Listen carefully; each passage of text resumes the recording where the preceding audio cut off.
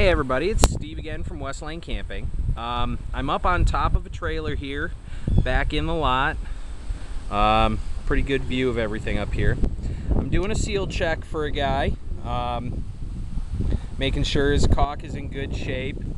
Uh, we're coming towards the end of the season and it's important. Now, to check your roof seals, you got to get up on top.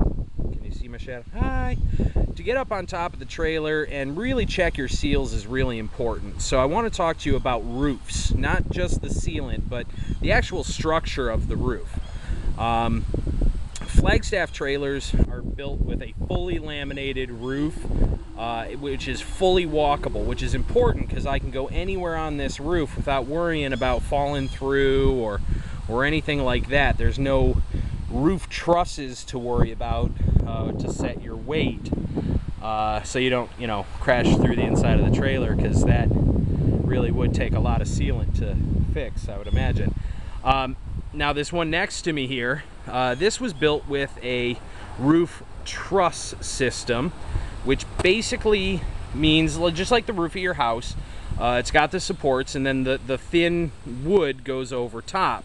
And you can kind of see uh, a little bit where the roof kind of sags between where the uh, trusses are, which kind of lets you know where you can walk and where you can't.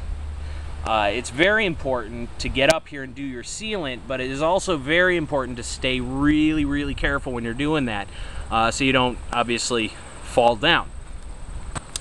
Uh, now, I don't have to worry about that so much on the Flagstaff trailers because, as I mentioned, they are fully walkable uh, and they're vacuum bonded uh, entirely at the factory in one piece.